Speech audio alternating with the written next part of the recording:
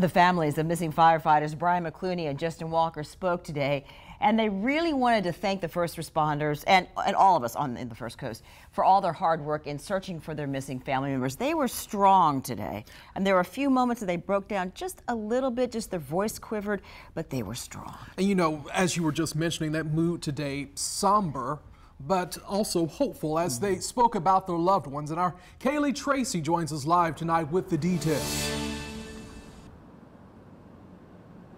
Yeah, Brian McCluney's family was a somber noon today, afternoon today. They say they still have a glimmer of hope, but do say that they have suffered a tremendous loss and it will be hard for them to move on in the coming days, weeks, and months. And they say that, that with quivering voices today, they described the man they say is their hero.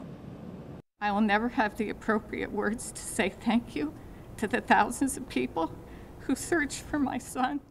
10 days after this son, brother, husband, and dad went missing on a fishing trip with his friend. And the millions of prayers for my son.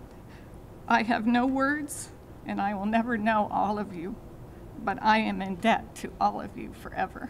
Brian McCluney's family thanked everyone who helped in the search for McCluney and fellow firefighter Justin Walker. Even among loss, we find kindness, bravery, and the bonds of life that tie us together when we are tempted to feel the most alone. This experience, although tragic and heartbreaking, is a perfect representation of the power of people coming together for a common cause. They say the power of people in this search shows just how loved these men they call their heroes are. It's impossible to summarize a lifetime of brotherhood here, but I will say that as brothers go, Brian was the best. No stone was left unturned during the search. And Brian's wife Stephanie has a message for Brian's fellow firefighters who helped search. I know firefighters love to fix things and make things right.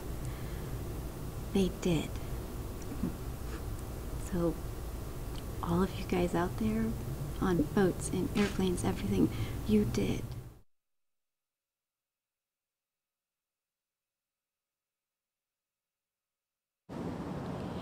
Now, private volunteers and some fellow firefighters from Bryan Station here behind me, Station 31, are still searching for the two missing firefighters. And you can find out how to donate to their efforts at jfrd.com. For now, reporting on the west side, Kaylee Tracy, First Coast News on your side.